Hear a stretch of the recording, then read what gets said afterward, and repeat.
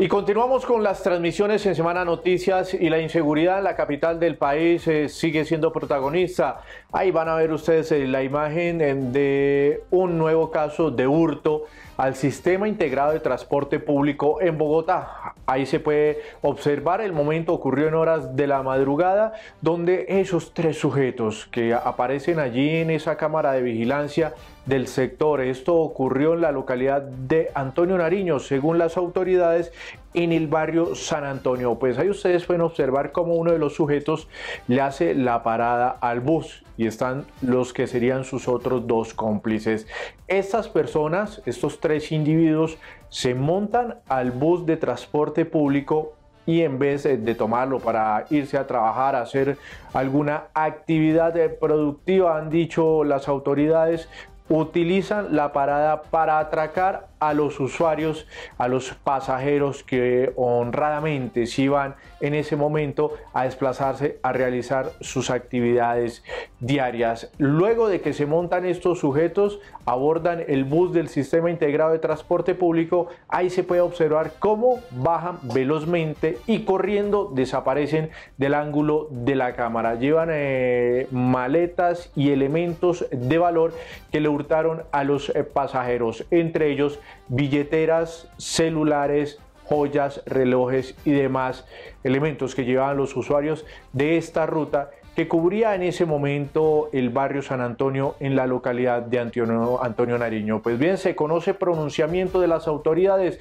porque el auxilio los gritos eh, de los pasajeros fueron fundamentales en ese momento para poder frustrar ese atraco que se presentó en este sector de la capital del país.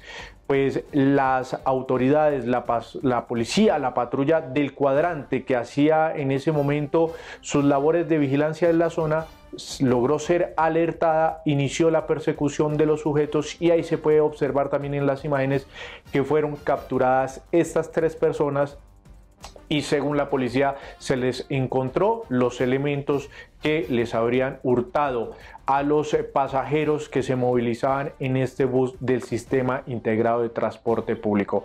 Pero ¿qué dijo la policía sobre este hecho? Escuchemos a la oficial de inspección.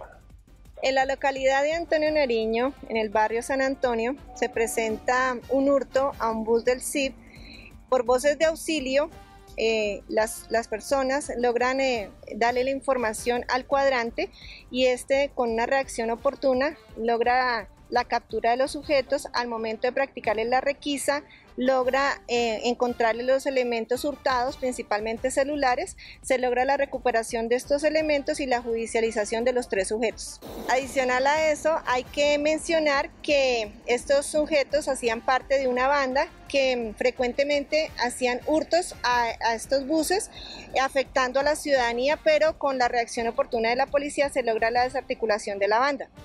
Hay que mencionar que ese es el segundo caso de atraco a un bus del Sistema Integrado de Transporte Público que se presenta en menos de una semana. Finalizando la semana anterior, eh, para el día viernes, específicamente otro bus del Sistema Integrado de Transporte Público, del SITP, en el sector de los mártires fue asaltado por delincuentes. Allí estos sujetos utilizaron violencia, un arma de fuego traumática e hirieron a un pasajero.